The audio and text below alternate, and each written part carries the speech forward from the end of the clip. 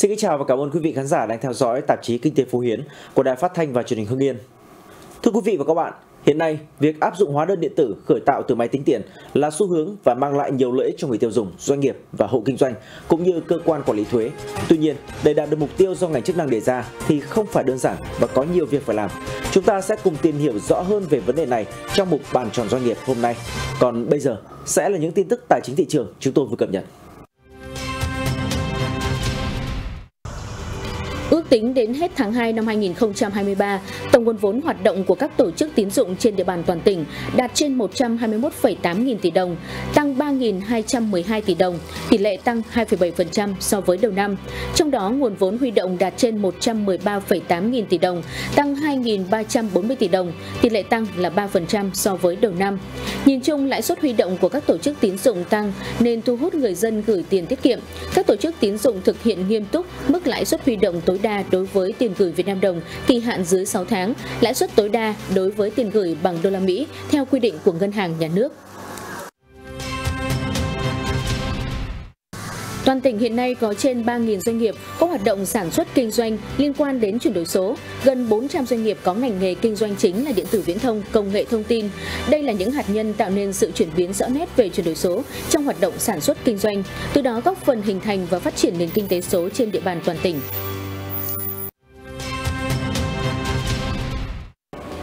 Năm 2022, lực lượng chức năng cả nước đã phát hiện, bắt giữ, xử lý gần 140.000 vụ buôn lậu, gian lận thương mại, tăng 1,17% so với cùng kỳ năm 2021. Trong đó có những nội dung nổi cộng như hiện tượng không khai báo hải quan hoặc khai báo gian dối về số lượng, giá trị, chủng loại xuất xứ để trốn thuế, xuất lậu, nhập lậu hàng hóa có điều kiện, hàng cấm, hàng xâm phạm quyền sở hữu trí tuệ. Năm 2023, Ban chỉ đạo 389 quốc gia yêu cầu Ban chỉ đạo 389 các bộ, ngành, tỉnh, thành phố chủ động nhận diện phương thức, thủ đoạn buôn lậu, gian lận thương mại mới để có giải pháp phù hợp, tập trung đánh trúng, đánh đúng đối tượng chủ mưu, các vụ việc nổi cộng.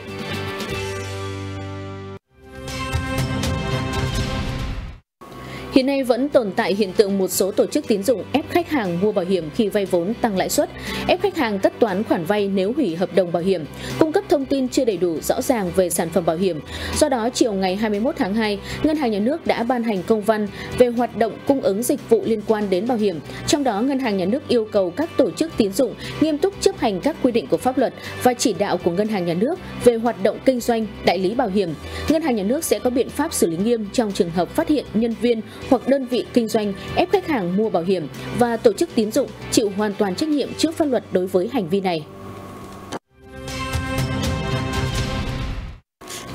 Hiện nay, lãi suất huy động đang đồng loạt giảm khá mạnh khoảng 1 đến 2% trên năm so với giai đoạn cao điểm. Theo nhận định của giới chuyên gia, mặc dù trong thời gian tới, việc giảm lãi suất sẽ gặp nhiều khó khăn, thách thức do áp lực lạm phát vẫn xu hướng tăng và các ngân hàng trung ương lớn trên thế giới tiếp tục thắt chặt chính sách tiền tệ, giá nguyên vật liệu thế giới tăng, chi phí vận chuyển tăng, nguồn cung gián đoạn, gánh nặng vốn cho nền kinh tế đối với hệ thống ngân hàng cao. Tuy nhiên, giới chuyên môn kỳ vọng lãi suất vẫn còn dư địa để giảm trong năm 2023 nhưng sẽ có độ trễ nhất định.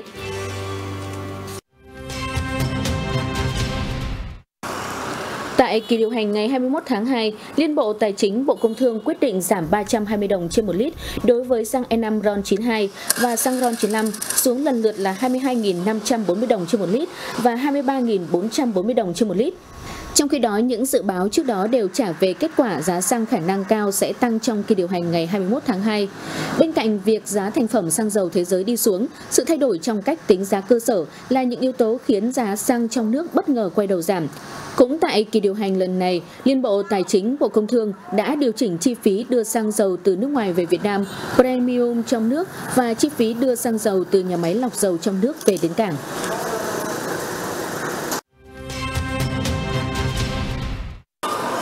Giá lợn hơi trên cả nước vẫn chưa có nhiều tín hiệu khả quan, người nông dân lo lắng chưa dám tái đàn vì sợ lỗ. Hiện giá lợn hơi được thu mua trong khoảng từ 48 đến 53.000 đồng trên 1 kg. Cụ thể tại tỉnh Bắc Giang, Phú Thọ, Vĩnh Phúc, Hà Nội, Tuyên Quang, Thái Nguyên, Hưng Yên, Thái Bình, Yên Bái, Lào Cai, Ninh Bình, Nam Định, giá lợn hơi được thu mua với mức là 50 đến 51.000 đồng trên 1 kg. Giá lợn hơi tại các tỉnh miền Trung Tây Nguyên đang dao động trong khoảng từ 48 đến 52.000 đồng trên 1 kg.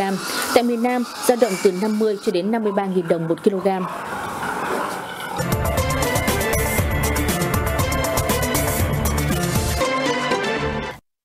Thưa quý vị và các bạn, Bộ Tài chính đã chỉ đạo ngành thuế xây dựng giải pháp hóa đơn điện tử khởi tạo từ máy tính tiền và đã chính thức vận hành hệ thống này từ ngày 15 tháng 12 năm 2022, dự kiến kết thúc giai đoạn 1 vào tháng 3 năm 2023. Việc triển khai hóa đơn điện tử khởi tạo từ máy tính tiền là xu hướng và mang lại nhiều lợi ích cho người tiêu dùng, doanh nghiệp, hộ kinh doanh cũng như cơ quan quản lý thuế. Tuy nhiên, để đạt được mục tiêu đề ra thì không phải là chuyện đơn giản và có nhiều việc phải làm. Chúng ta sẽ cùng tìm hiểu rõ hơn về vấn đề này qua mục bàn tròn doanh nghiệp hôm nay. Trước tiên là một phóng sự ngắn của chương trình. Lợi ích khi mà áp dụng hóa đơn điện tử và khởi tạo từ máy tính tiền thì báo cáo các thế đây là một buổi gặp gỡ trao đổi trực tiếp giữa các cán bộ ngành thuế với các hộ kinh doanh trên địa bàn thành phố Hưng Yên về việc áp dụng hóa đơn điện tử khởi tạo từ máy tính tiền. Thời gian qua, Chi cục thuế khu vực thành phố Hưng Yên Kim Động đã triển khai áp dụng hóa đơn điện tử trên địa bàn quản lý, đạt 100% chỉ tiêu đề ra. Sau một thời gian áp dụng hóa đơn điện tử, tất cả các hộ kinh doanh đều có nhận thức rất tốt về lợi ích của những chương trình do ngành thuế triển khai trong thời gian gần đây. Đây là một điều kiện thuận lợi khi triển khai hóa đơn điện tử được khởi tạo từ máy tính tiền. Còn trong quá trình sử dụng hóa đơn điện tử này thì cảm thấy là rất là thuận tiện mà nó hay, nó nhanh và nó chuẩn hơn. Nó, xử lý nó, nó dễ hơn là ngày xưa như mình đi kia nó mất nhiều thời gian hơn Đấy, biết nhưng cái này thì nó đúng là thuận thật nhưng còn trong cái quá trình mà phát triển cái mới này mà đúng là thuận hơn nữa thì anh em chúng tôi nhất trí thôi không có gì cả các cơ quan thuế có triển khai là để kết nối với lại các cơ quan ờ, thuế thì chúng tôi hoàn toàn là nhất trí và phải thực hiện cái này là chủ trương của đảng và nhà nước thì phải thực hiện chứ không phải là là thích hay không thích. Khi chưa được tiếp cận thông tin đầy đủ, người dân có thể có nhiều e ngại về các điều kiện để triển khai nên công tác tuyên truyền là điều vô cùng quan trọng, nhất là khi những vướng mắc trong quá trình triển khai lại chủ yếu nằm ở khâu nhận thức của các hộ kinh doanh, doanh nghiệp. Đối với các ờ, hộ kinh doanh thì uh, Ừ, họ cũng chưa nhận thức được cái tầm quan trọng ừ, và lợi ích ờ, thực sự của việc sử dụng ờ, hóa đơn điện tử từ khởi tạo từ máy tính tiền ờ, nên là họ cũng chưa tích cực và chủ động tham gia trong cái việc sử dụng hóa đơn điện tử khởi tạo từ máy tính tiền. Về phía người dân, khi mua hàng hóa dịch vụ hàng ngày thì người dân ta vẫn chưa có thói quen lấy hóa đơn, dẫn đến cái nhu cầu sử dụng hóa đơn chưa nhiều nên là cái việc mà sử dụng hóa đơn điện tử khởi tạo từ máy tính tiền thì vẫn còn hạn chế. Chi cục thuế sẽ tiếp tục tuyên truyền sâu hơn nữa đến các hộ kinh doanh. Chỉ tiêu của chúng tôi đề ra là trong tháng 2 năm 2023 thì sẽ đạt 70% cái chỉ tiêu đề ra và sẽ hoàn thành 100% chỉ tiêu đề ra trong tháng 3 năm 2023. Lập đơn xử lý Để hiểu sâu hơn về việc triển khai hóa đơn điện tử khởi tạo từ máy tính tiền, sau đây mời quý vị theo dõi cuộc trao đổi giữa phóng viên chương trình với đại diện phòng tuyên truyền hỗ trợ người nộp thuế, Cục Thuế tỉnh Hưng Yên. À, vâng thưa chị là việc khởi tạo hóa đơn điện tử từ máy tính tiền thì được hiểu một cách đơn giản là như thế nào ạ? À, hóa đơn điện tử khởi tạo từ máy tính tiền à, chính là hóa đơn điện tử có mã của cơ quan thuế được thể hiện dưới dạng điện tử do tổ chức cá nhân cung cấp hàng hóa, dịch vụ lập để ghi nhận thông tin ờ, dưới dạng điện tử ờ, theo quyết định số 1510 ngày 21 tháng 9 của Tổng cục Thuế. Ờ, việc khởi tạo hóa đơn điện tử từ máy tính tiền được hiểu đơn giản là việc lập hóa đơn điện tử thông qua thiết bị máy tính tiền có kết nối chuyển dữ liệu tới cơ quan thuế. Thưa chị là việc xuất hóa đơn điện tử từ máy tính tiền thì sẽ mang lại những lợi ích như thế nào cho các hộ kinh doanh, doanh nghiệp cũng như là người tiêu dùng và cơ quan quản lý thuế ạ? Về phía doanh nghiệp ờ, việc sử dụng hóa đơn điện tử khởi tạo từ máy tính tiền ờ, giúp doanh nghiệp chủ động trong việc xuất hóa đơn điện tử cho khách hàng, kể cả ngoài giờ hay là đêm. Ờ, do hóa đơn điện tử được in từ máy tính tiền có kết nối chuyển dữ liệu với cơ quan thuế chính là hóa đơn điện tử có mã của cơ quan thuế. Thứ hai, đó là doanh nghiệp sẽ chủ động trong việc điều chỉnh sai sót. Do hóa đơn điện tử được khởi tạo từ máy tính tiền sẽ gửi dữ liệu tới cơ quan thuế vào cuối ngày, chứ không gửi dữ liệu từng hóa đơn như hóa đơn có có mã thông tường. À, thứ ba nữa là à, người bán có thể thiết lập nhiều thiết bị à, máy tính tiền à, tại à, một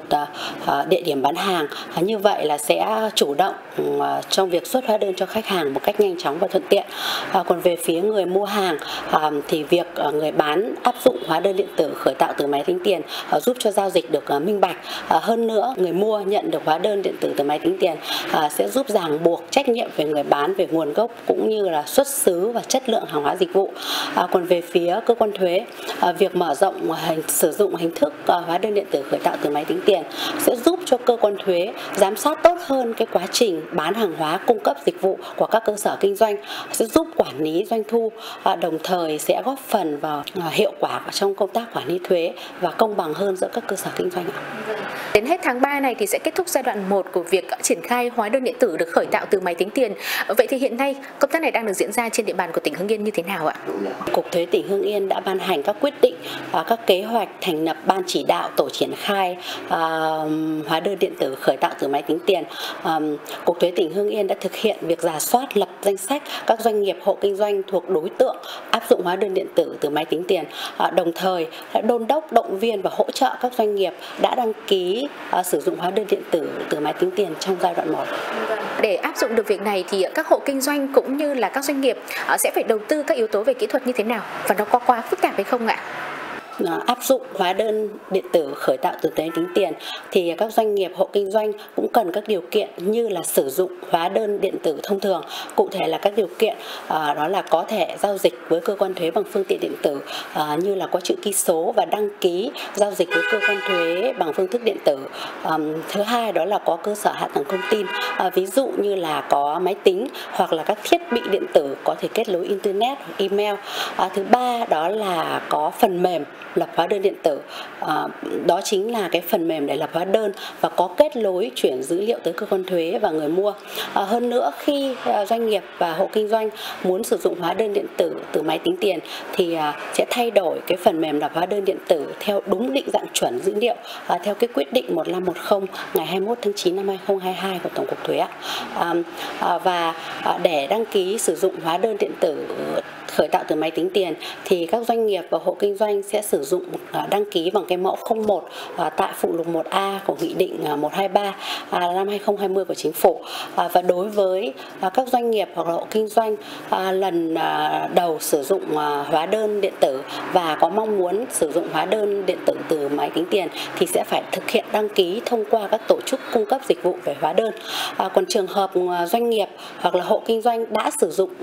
hóa đơn điện tử và muốn ờ, đăng ký sử dụng hóa đơn điện tử từ máy tính tiền thì sẽ thực hiện đăng ký thông qua các tổ chức cung cấp dịch vụ hoặc đăng ký trực tiếp trên ờ, ờ, trang hóa đơn điện tử của Tổng cục Thuế. Thưa chị là việc triển khai hóa đơn điện tử được khởi tạo từ máy tính tiền thì hiện nay đang gặp phải những khó khăn thách thức như thế nào ạ? Trong quá trình triển khai trên địa bàn tỉnh thì cũng ờ, gặp một số vướng mắc. À, thứ nhất đó là vướng mắc về à, hạ tầng cơ sở thông tin, đó là các doanh nghiệp hoặc hộ kinh doanh ấy chưa đồng bộ hoàn toàn về cái công nghệ thông tin. À, thứ hai đó là à, vướng mắc xuất phát từ cái à, đặc điểm của kinh doanh bán lẻ, đó là các hộ kinh doanh hộ kinh doanh hoặc là doanh nghiệp uh, kinh doanh không thường xuyên liên tục tâm lý của một số cơ sở kinh doanh là không muốn áp dụng uh, hóa đơn điện tử từ máy tính tiền. Tổng cục thuế, cơ quan thuế cũng hỗ trợ đồng thời các doanh nghiệp hộ kinh doanh sẽ làm việc với các tổ chức cung cấp dịch vụ về hóa đơn điện tử để hỗ trợ uh, doanh nghiệp đơn vị có thể sử dụng được hóa đơn điện tử từ máy tính tiền ạ. À, vâng thưa chị là để triển khai hóa đơn điện tử được thực hiện từ máy tính tiền à, thì trong thời gian tới trên địa bàn tỉnh Hưng Yên để đạt hiệu quả cao hơn nữa, ngành thuế đã có được những cái giải pháp như thế nào ạ? ngành thuế đã thực hiện một số giải pháp. À, thứ nhất là việc tăng cường tăng cường cái việc tuyên truyền lợi ích của uh, hóa đơn điện tử khởi tạo từ máy tính tiền để cho các doanh nghiệp hiểu rõ hơn để người mua thấy được cái sự cần thiết lợi ích của cái việc người bán xuất hóa đơn điện tử. À, thứ hai đó là tiếp tục thực hiện cái chương trình hóa đơn may mắn để khuyến khích người mua uh, hàng lấy hóa đơn khi mua hàng hóa và dịch vụ. À, thứ ba nữa là cần uh, nghiên cứu để hoàn thiện cái chính sách pháp luật về quản lý thuế và quản lý hóa đơn uh, theo hướng quản lý là bắt buộc người bán hàng hóa cung cấp dịch vụ uh, sử dụng máy tính tiền thì Ờ, sẽ phải sử dụng ừ, hóa đơn điện tử và sử dụng duy nhất một hình thức đó là hóa đơn điện tử khởi tạo từ máy tính tiền và thứ tư nữa là ờ, cần có sự phối hợp giữa cơ quan thuế và giữa các cơ quan nhà nước có liên quan để thực hiện nghiêm cái quy định về hóa đơn điện tử. Dạ, rất là cảm ơn chị đã dành thời gian trao đổi với chương trình ngày hôm nay ạ. Quý vị và các bạn thân mến, nội dung vừa rồi đã khép lại tạp chí Kinh tế Phú Hiến của Đài Phát thanh và Truyền hình Hưng Yên hôm nay. Cảm ơn sự đồng hành của Ngân hàng Thương mại Cổ phần Công thương Việt Nam chi nhánh Hưng Yên, Ngân hàng Thương mại Cổ phần Ngoại thương Việt Nam chi nhánh Hưng Yên, Công ty Bảo Việt Hưng Yên. Cảm ơn sự quan tâm theo dõi của quý vị và các bạn. Kính chào tạm biệt và hẹn gặp lại vào lúc 20 giờ 15 phút thứ bảy tuần sau.